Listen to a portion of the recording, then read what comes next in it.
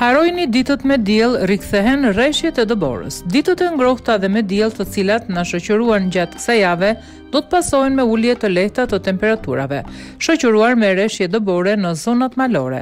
Sipas parashikimit nga Shërbimi Meteorologjik Ushtarak, reshjet e shiut dhe dëborës do të vijnë nga dita e premte. Parashikimi Po ju njoftoj me kushtet meteorologjike për javën që presim.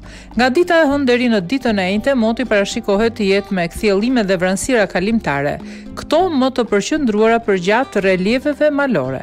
Dita e premte ka një ndryshim të kushteve meteorologjike ku gradualisht do të fillojnë të depërtojnë masat ajrore të paqëndrueshme të cilat do të sjellin mot kryesisht të vranët dhe reshje shiu me intensitet të ulët deri mesatar.